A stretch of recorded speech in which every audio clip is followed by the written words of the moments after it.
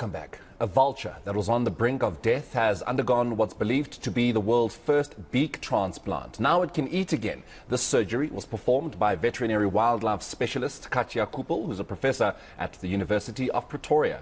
So the bird was hit by a car in March, suffering serious head injury that caused blindness in its right eye. To discuss the operation, we are joined now by veterinary specialist Professor Katja Koeppel. Thank you so much, Prof.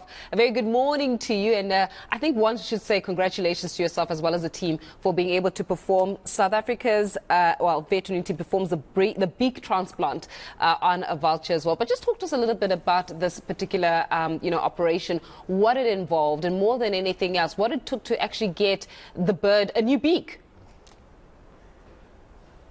Look, um, initially we did what we normally do, and we did an acrylic beak with um, a structure of orthopedic wires that were then put on an acrylic beak.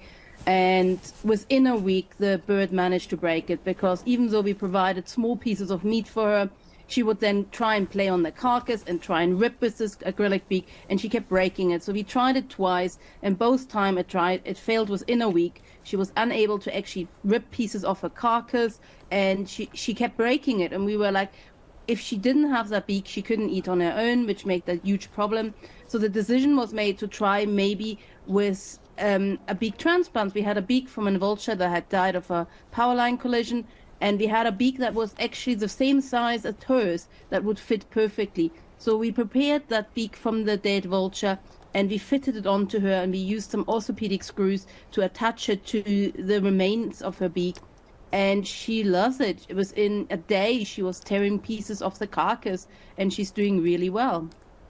Prof, I mean, you are a veterinary specialist, so we cannot question um, your knowledge of such things. But when you're doing something for the first time, how do you know how to go about it and where to start and how, do you know when you're getting it right? You know, because I mean, it has to be trial and error. And you are mentioning, you know, that you guys did start off and you, you did, you know, somewhat uh, hit a, a few speed bumps. But then, how do you then know where to go and how to go about making sure that when you put that beak on her, it's never going to come off?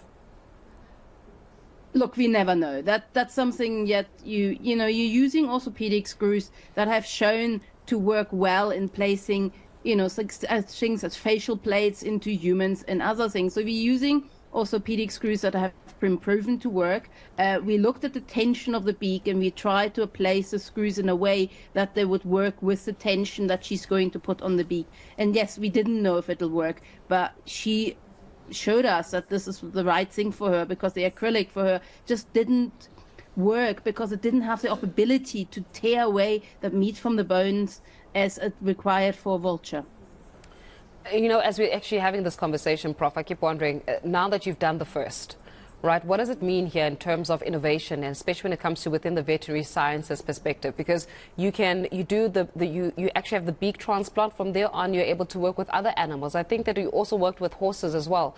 So, uh, what exactly does it mean for from an innovation perspective? Because the truth of the matter is, innovations such as yourselves and, and innovators such as yourselves need to be encouraged. Mm. You need to be given the resources so that you can better experiment, so that you can better come up with solutions, real solutions, really, for, for some of the issues that that uh, our animals are facing. Do you have enough resources to capacitate you? And what does it mean exactly to have this first actually be so successful?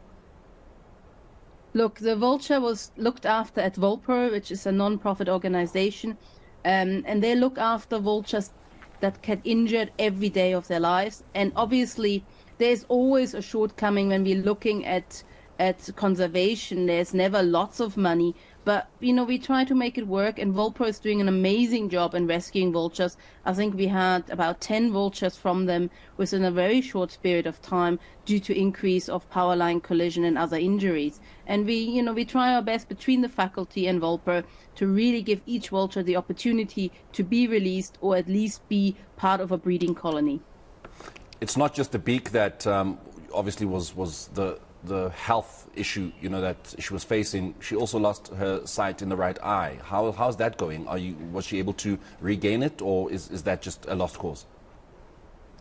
Unfortunately, that, that sight is lost, and that means she won't be able releasable because vultures need to see from a great distance of 300 meters at a carcass to sort of find their food. So she won't be able to do it. She will be part of the breeding colony, and hopefully, if she finds the right mate, um, she her offspring can be released in in the following years, and so she can still be giving to conservation. Prof, it certainly is, as I said, um, really a significant milestone. And um, we thank you so much for, for just being able to elaborate in terms of how it feels like to be able to perform the first beak transplant on a, a vulture. That in itself is a reason for us to be so proud, um, especially for those that are involved, especially within the veterinary sciences. So much appreciated. And I do hope. What is the, what is the, the, the vulture's name, by the way? Um, I actually don't know. We all call them by their ring number, so they all have colored rings. So she has a pink black ring, and I think, she, yeah, I don't know, remember her number, but they all have ring numbers, okay, not names. So, not names. All right, maybe we'll call it Dolly no, for the purpose of this maybe, one. maybe she will get one because she's so special. Yeah, I think it's about time we actually give her a name, Prof. Um, but but we do thank you, and uh, uh, and listen, continue with the innovation, continue mm. with the experimenting, because that's the only way that we're able gonna that we're gonna be able to move science ahead, uh, specifically within the veterinary sciences. There, Professor uh, Katja Koeppel just joining us there. The first beak transplant. transplant. Yes. Hmm? What's to come after that? Uh, who's to say? At this point, science is doing amazing things. Just look at that vulture there um, with beak. It's able to, it's able to eat. It's, it can't see. I'm going to call it Dolly Parton. I am. I wonder. I, wonder why. Because she's so she's she's you know she's she's forever young. She's okay, gonna live. Okay, forever yeah. young indeed. She's she Dolly Parton. Dolly Parton, the vulture. All right. So of course uh, that's where we leave it. Of course, with Professor Katja Koeppel. But for now, we're going to be bringing you the